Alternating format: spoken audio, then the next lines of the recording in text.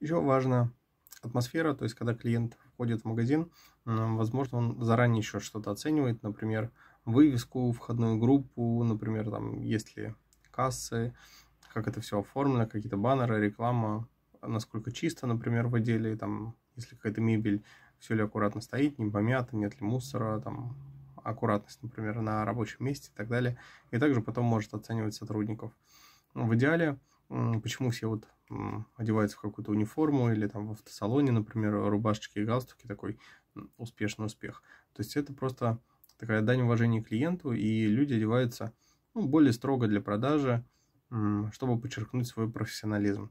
На самом деле, если какой-то формы нету, или людям это не нравится, можно просто спросить сотрудников, как вы считаете, какая форма была бы вам актуальна.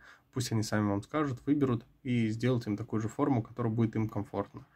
Вот. А либо, например, для клиента можно, ну, не как-то вызывающе одеваться, например, если вы работаете в мебели, в торговом зале, а, можно, например, не одевать какие-то там яркие вещи, не выглядеть эпатажно, но чтобы вы запомнились, можно одеть, не знаю, там, а, какой-нибудь красный галстук или там какие-нибудь цветные подтяжки, ну, в общем, как-то выделиться, и когда клиент с вами пообщается, возможно, он не запомнит вашего там имени, но когда в следующий раз придет, скажет, вот у меня там парень с красным галстуком. Если вы всегда его носите, ну, коллектив поймет, что вы делаете.